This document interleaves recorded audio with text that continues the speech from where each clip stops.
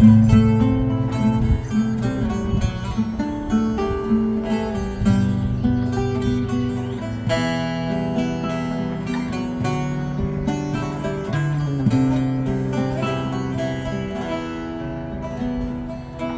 dikkati nereye odaklıysa enerjisi oraya akar. Nasıl ki bir çöp kamyonunun dikkati çöp bidonlarına odaklıdır. Kamyon yanaşır, çöpleri doldurur içine, bütün çöpleri toplar. Hatta çok alsın diye iyice pres yapıp götürür ve çöp kamyonu kötü kokar. Bazı insanlar da öyle. Kendilerinin ya da sevdiklerinin ya da çevrelerinin olumsuzluklarına odaklanırlar. Onların hatalarını yüklenirler, onların kusurlarını konuşurlar, onların yanlışlarını sürekli düzeltmeye çalışırlar. Ve geçmişe takılıp onları bugüne taşırlar. Geçmişteki çöpleri içine doldurup bugüne getirirler.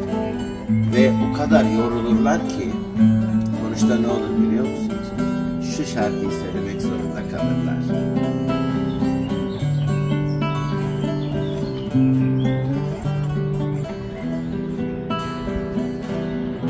Ben yoruldum hayat Gelme üstüme Biz tüm dünyanın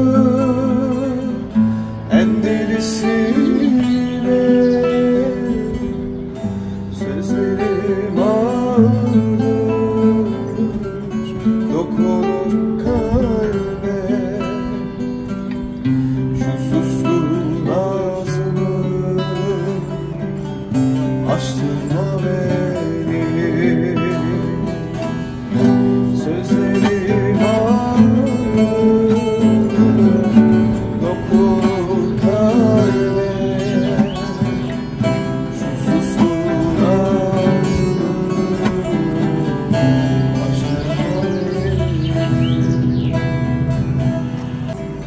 Yüklü bir tır nasıl ki yavaş gider, menzile geç ulaşır.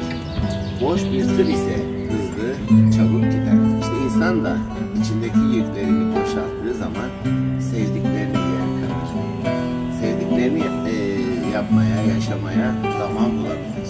Dolayısıyla omuzumuzdaki yükleri, ruhumuzdaki ağırlıkları, zihnimizdeki olumsuz düşünceleri bırakıp boş bir tır gibi hedefimize doğru mı?